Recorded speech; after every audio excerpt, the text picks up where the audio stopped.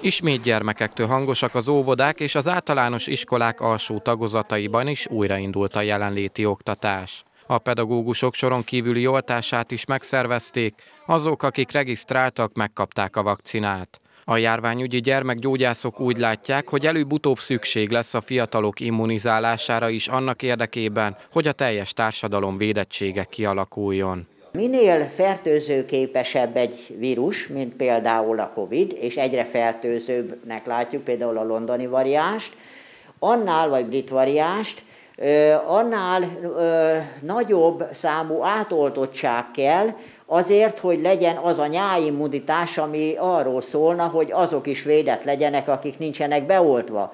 Tehát itt a 80% fölé kell menni, már pedig gyerekek oltása nélkül itt soha nem lesz 80% feletti, úgyhogy alig várjuk, hogy a gyerekeknek is megjelenjenek a, az engedélyek, ugyanezek az oltóanyagok, amik most forgalomban vannak, csak a vizsgálatokat befejeződjenek, és a gyermekorvosok várják, hogy beoltsák. Nyilván ott is lesz egy differenciálás, hogy először a krónikus betegeket, és aztán egy jó meggyőzéssel, meggyőződésem, hogy a gyermekeknek a szülei fogják vállalni, mert általában a gyermekeknél a szülők oltáspártiak.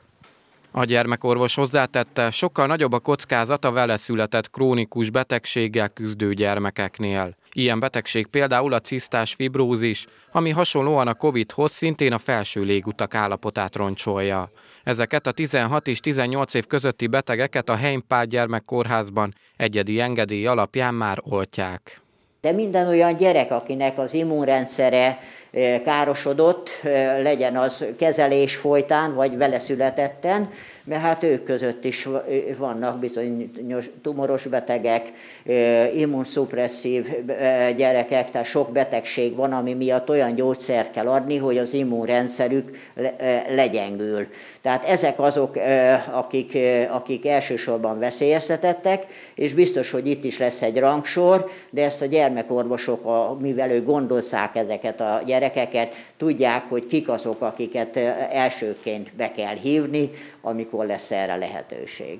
A gyermekorvos azt mondta, bízik abban, hogy hamarosan megjelennek azok a készítmények, amelyeket a fiatalok számára is beadhatnak. Ahhoz ugyanis, hogy a teljes védettség kialakuljon, szükség lesz a magyar népesség 20%-át jelentő 18 év alatti gyermekek beoltására is.